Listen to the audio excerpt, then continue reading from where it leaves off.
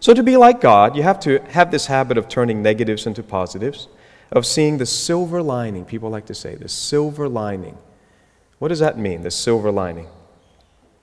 It means a positive aspect in an otherwise negative situation.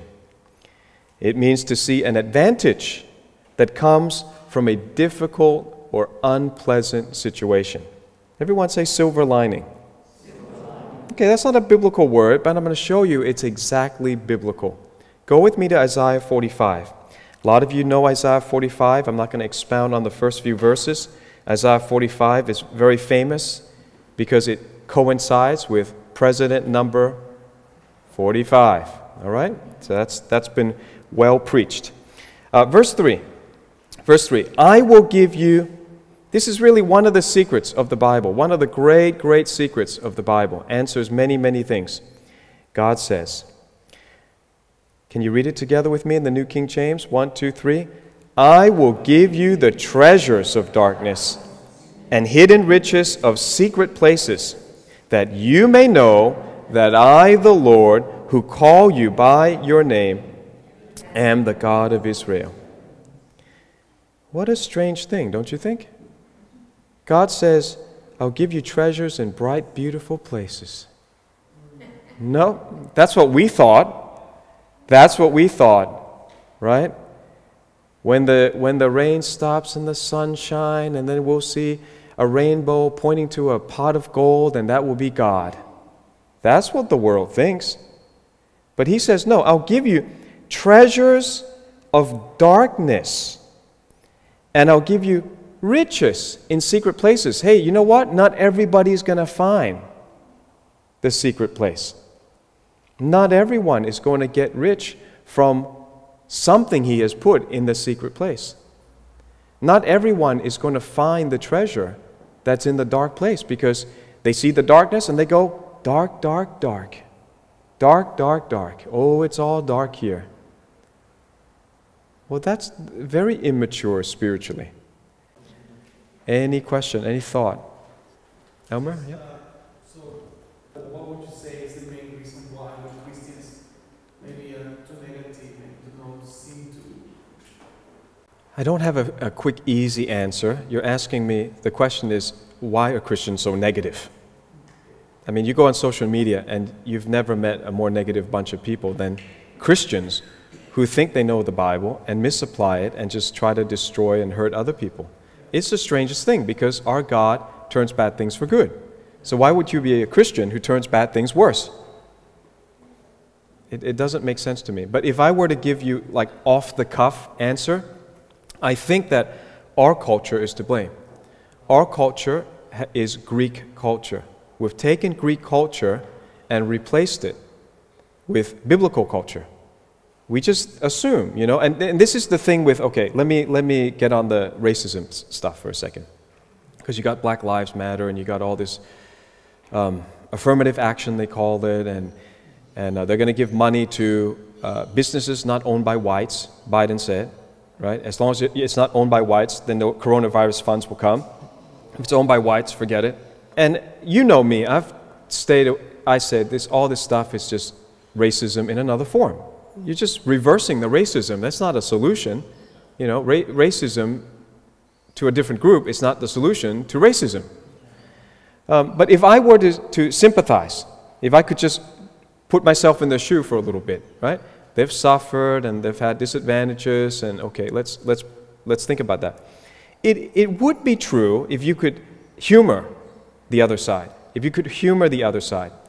There are some facts that Europeans started both world wars. It would be a fact that Europeans have uh, gone on a global colonialization uh, adventure all throughout the world, did not leave anybody untouched, whereas nobody else did that.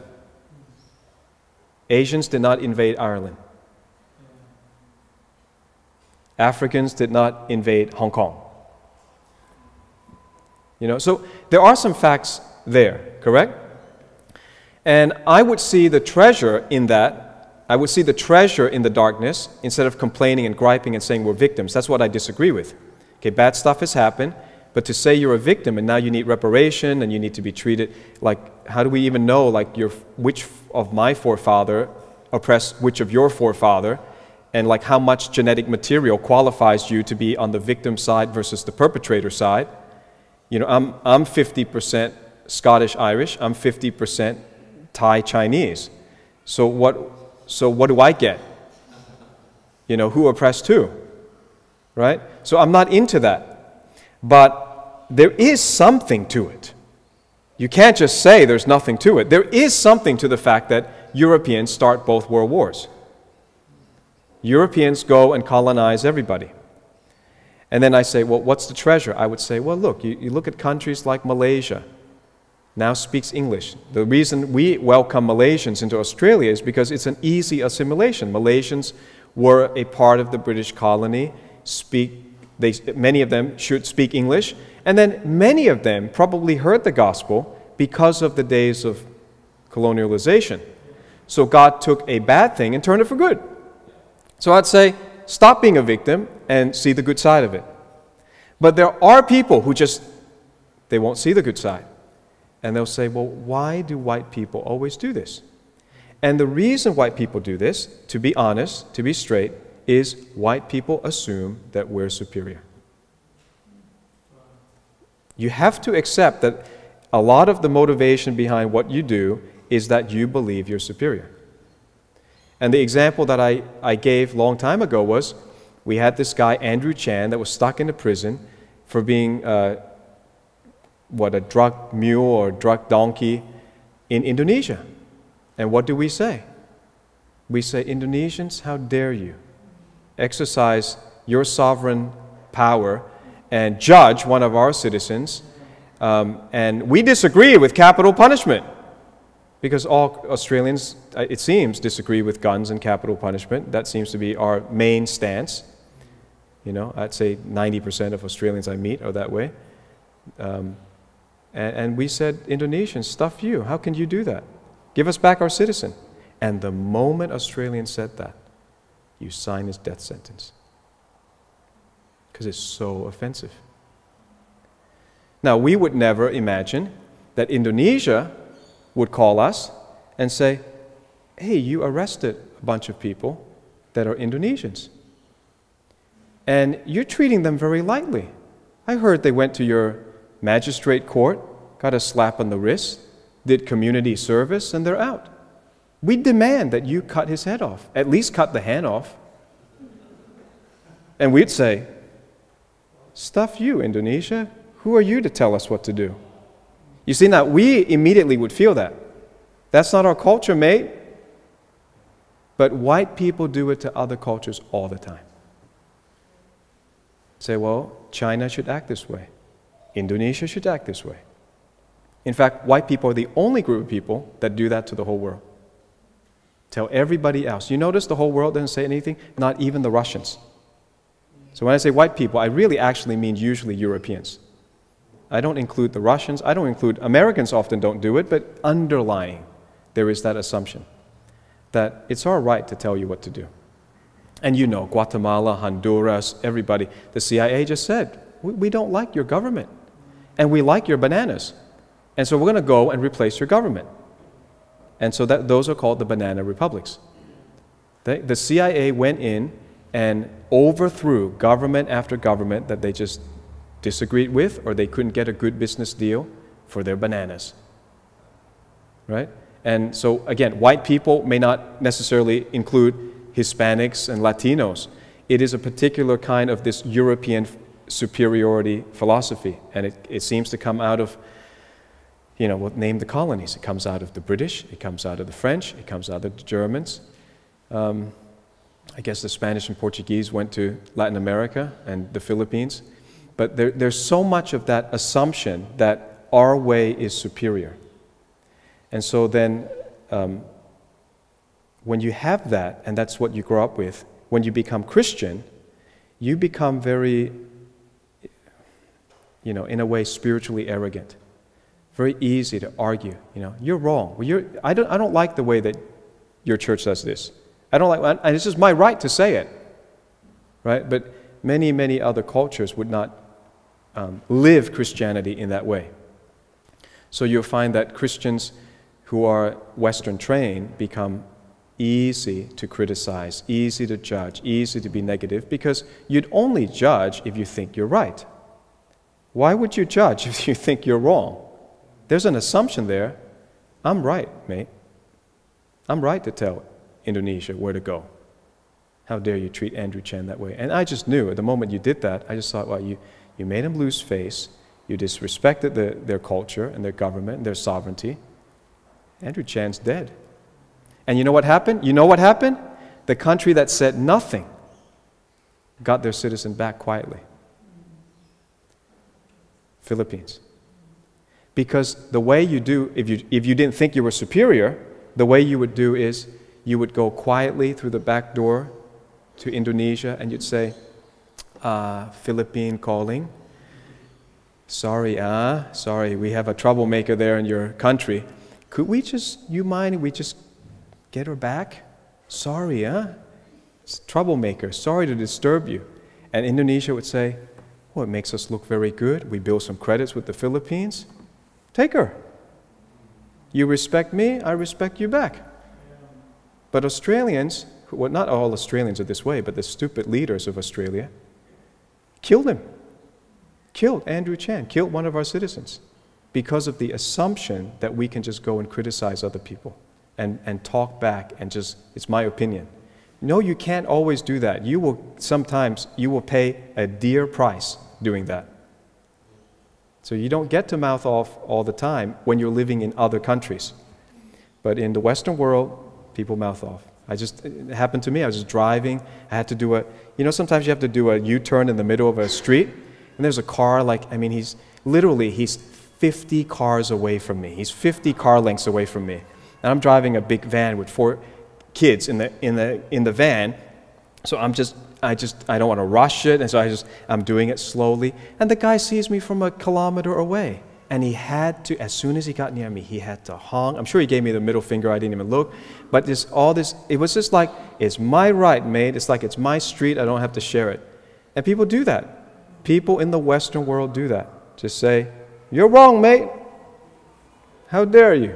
Make a U turn. And I'm thinking, you never made a U turn on a street before? Are you kidding me? But in the Western world, you can just do that to people. In any other place, you do that in Russia, in Thailand, and probably in many places in China, you will not get home. You will not get home. I'm not joking. You will not get home. Nobody has a right to treat even a stranger that way because we have to live with one another. We have to get along with one another. But the Western world is not, not taught that. The Western world is, I have my right. It's my right to say it. Now, what's the consequence of saying it? I don't care. It's my right to say it. So then it produces very negative, critical, judgmental Christians. But it's also produced very intellectual Christians, wonderfully thoughtful Christians. It kind of goes together. And it goes with the war. Because if you think you're superior and you're right, then you think, well, why can't I invade France? Why can't France speak German? And they did it. Why can't Poland speak German? Germans are cleaner, stronger, healthier, smarter. That's literally how they thought. We're better, so we're going to go get the dumb Slavs and the dumb Eastern Europeans. They're going to live under our perfect system. That's World War, that's World War One and two, really. So, so, so that's going to come up again. It's never going to end. It's, it's ingrained.